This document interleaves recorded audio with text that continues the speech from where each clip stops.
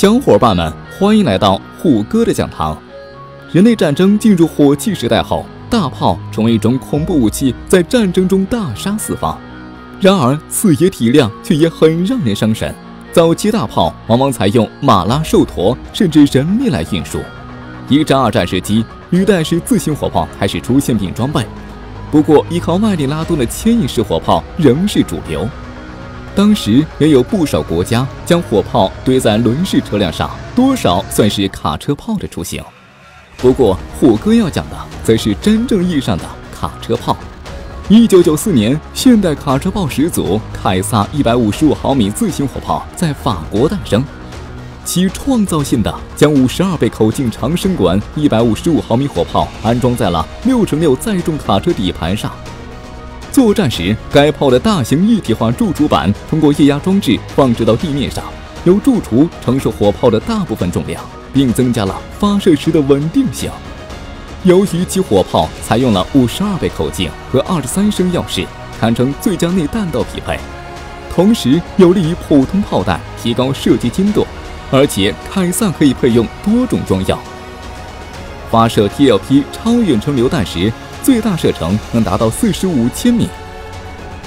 不过，卡车炮最引以为豪的自然不是其火力，而是机动性。凯撒的最大速度可达到每小时一百千米，最大越野行驶速度每小时五十千米，满足了现代炮兵快打快撤的需要。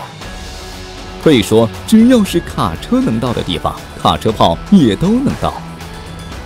相对而言，履带式自走炮摩托小时极为珍贵，长距离开进则必须要依靠货车或平板拖车，局限性不小。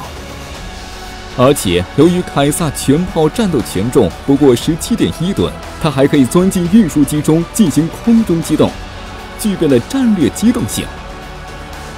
凯撒入役后还经常执行维和任务，有人说维和行动不能上重武器。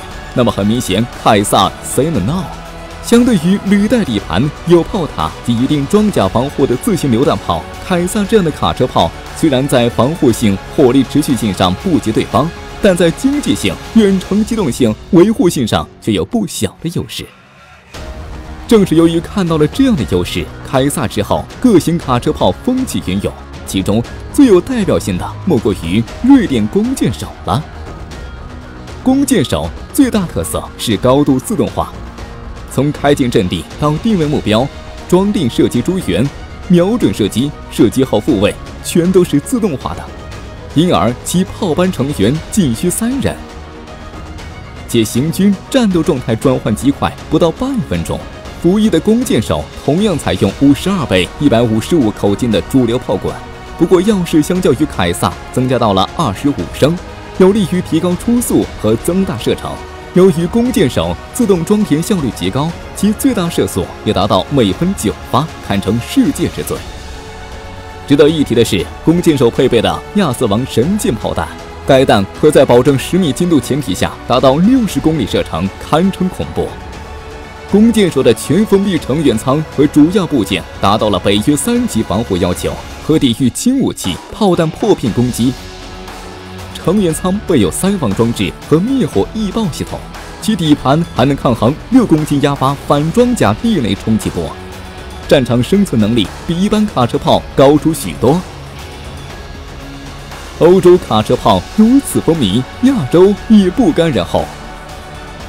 大家可能以为卡车炮不就是卡车涂个炮那么意思可您要真这么想，那么就和越南人尿到一个壶里了。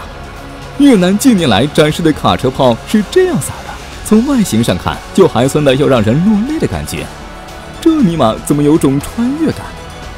原来越南在二战时即诞生的 M 幺零幺榴弹炮硬生生加在了卡车上，无论炮还是车都不忍直视，能驮着跑倒是真的，至于精度神马的，这自行车咱就不要想了。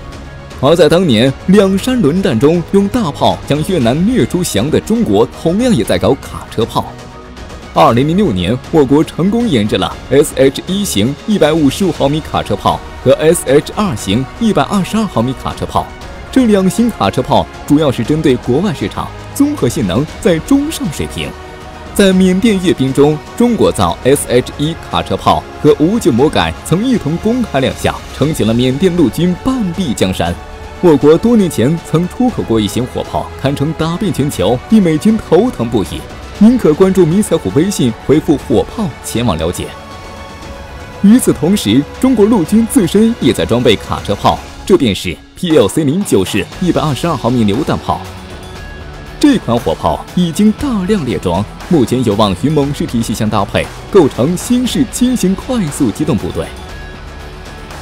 我们知道，基于八乘八底盘研发的轮式装甲体系，目前正成为中国陆军的新宠。然而，考虑到底盘的承受能力和性价比，八乘八体系的火炮目前最大只做到了一百二十二毫米口径。很明显，师力级压制炮兵还需要更大口径。新式一百五十五毫米卡车炮可能成为此类部队的一个选择。或许未来不久，我们就将看到自用型一百五十五毫米卡车炮了。我们拭目以待。